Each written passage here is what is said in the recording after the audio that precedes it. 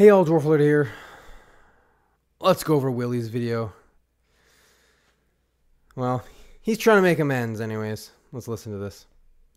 A while back, I did a video on the state of World of Warcraft Classics era realms, and honestly, I didn't think it looked good. So, seven months ago, Willie was able to predict the future. He said, end of an era, literally. He knew, end of an era. Well, seven months later, his foot is in his mouth because uh, we're not dead yet. At all. The catalyst for me making the video then was Blizzard closing the character cloning service, which had existed since. So, when the cloning service was retiring soon, I made a video saying, hey, clone your characters. Willie makes a video saying, yeah, Era's dead. Did I log in and play Era and see what's going on with Era? No. Uh, I just assume it's dead. Probably it's dead. Eh, we'll just, we don't have to investigate. So, like, 300,000 people watch this video. Take that as gospel when it's not actually true. When that video came out, all of us classic era players are like, the fuck you just say about us? Saying say, saying that we're dead since the launch of these servers. This very much seemed like the final nail in the coffin for a very niche community demand which just didn't make sense for enough players to want to check out, as the Era Realms themselves when Vanilla private servers have been around for a long, long time. That niche demand is the reason Blizzard came out with their own authentic vanilla server there's always going to be a niche demand for vanilla. Why do you think people are crying when when season mastery 2? When season mastery 2? Cuz they love it. They love it.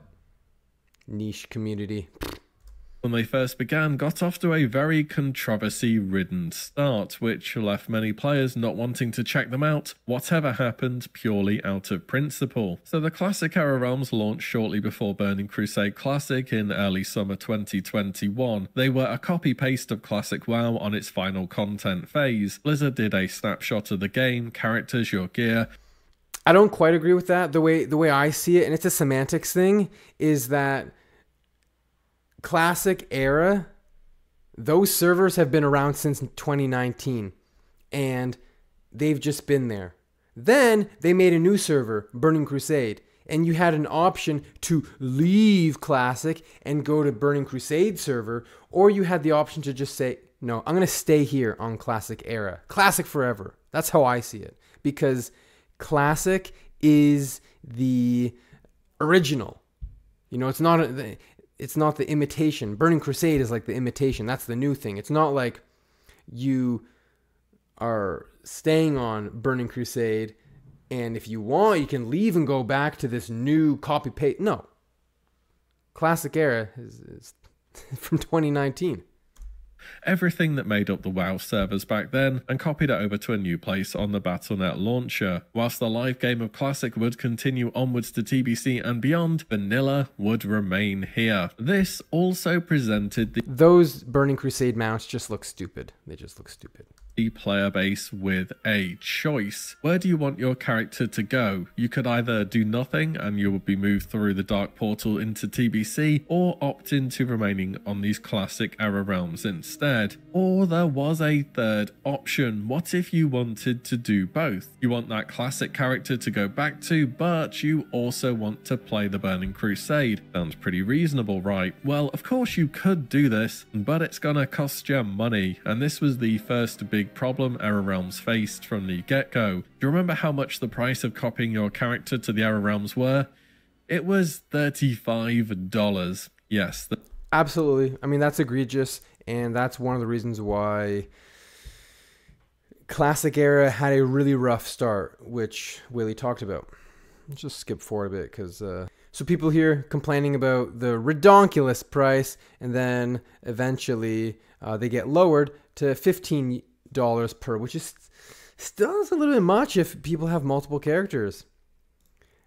But eventually it got reduced down to five dollars, and that's when uh, I made the video to have people going to be transfer playing these servers. five- five bucks. And a And a cost lot of people did. is a very effective way to do that. In May of 2022, one month before this cloning service This was what I'm talking removed from the shop, Blizzard dropped the price down to $5. And you might have even not known about that. In fact, if I wasn't doing videos on Classic, I don't think I would have known about it. It felt if you watched my video, you would have known about it. Unfortunately, not everyone did, and to this day, I continue to have people uh, comment on that video saying, "Oh, can I clone?" It's like, no, dude. The deadline was, I think it was like July.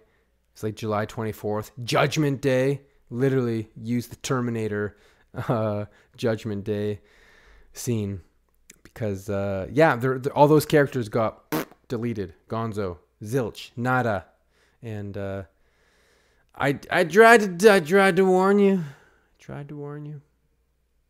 Like a very brief announcement. And now this character cloning service is gone, so why was it such a big deal? It's pretty simple really. If you did ever want to go back onto Classic Era, it would give you your level 60 character to play, presumably with solid gear, straight away. Your alternative to this will be going back to your starter zone and creating a level 1 A lot of people are doing that. They they miss the cloning, and what are they doing? They're leveling new characters up. So uh, that's awesome.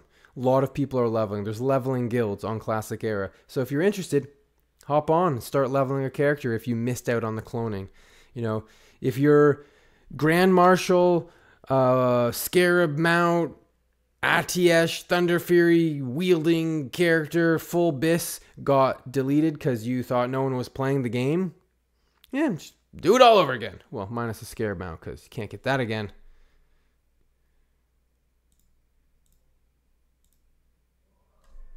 Or that are unpopular, are going to die, or are dead. I mean, WoW's been dying for nearly 20 years, and here we are. Didn't see how things would pick up. Surely there would be no coming back from this. Yes, if you want to play uh, classic, play classic. I mean, we're not going to go through the rest of this video. He he just keeps kind of saying the same stuff. this guy looks so ugly. So ugly. Play, play a dwarf, not a, a dopey human. Yeah, so basically, uh, if you want to play, play. Log on in. On North America, Whitemane is where I play. Mankrik is also an awesome server. There's more population on Mankrik. However, you could also argue that the more skilled players are on Whitemane because that's where I am. I bring the average skill up of that server. I like to think. And then if you're on EU, Firemaw and Pyrewood Village are your uh, your cluster choices. Hop on in, check out my stream, and see what Classic is all about. A lot of people are coming back. They're saying, "Oh, I'm bored of Wrath." Of course, you're bored of Wrath. I mean, what are the, what are you going to do in Wrath? Ulduar just came out, and people are bored of Wrath, and they're coming back to Classic. Sure, people are still enjoying Wrath. If you enjoy it, continue to do so. But if you don't, come back to Classic. That's what a lot of people are doing. So that's where we're at. Water's warm. Come on in. Thanks for watching the video. If you liked what you saw, please comment and subscribe, and I would love to chat with you. I'm streaming now most evenings on YouTube Live here, right on this channel, so pop in and say hello. Dwarf Lord out.